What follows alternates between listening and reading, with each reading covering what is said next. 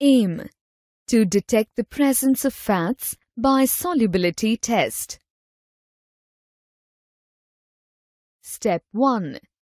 Take 2 ml of water in a test tube.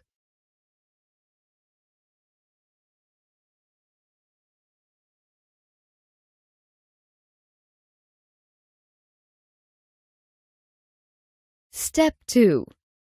Add 1 drop of mustard oil, shake it and keep it aside. Step 3. Take another test tube, add 2 ml of ether.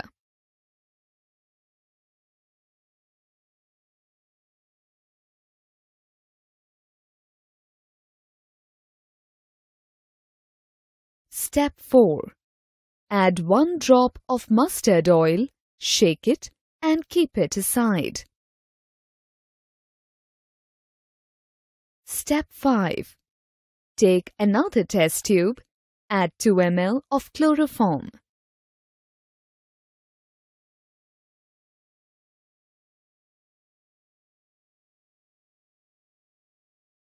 Step 6.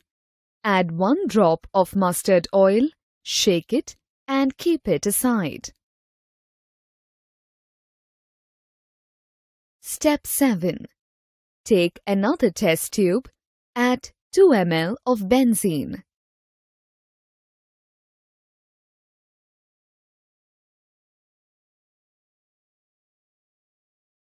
Step 8. Add 1 drop of mustard oil, shake it and keep it aside. Step 9. Take another test tube. Add 2 ml of ethyl alcohol.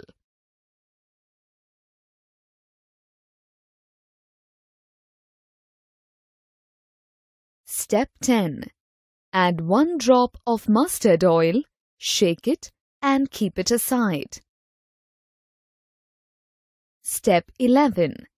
Mustard oil is broken into small droplets in water which float at surface, indicating fat is insoluble in water.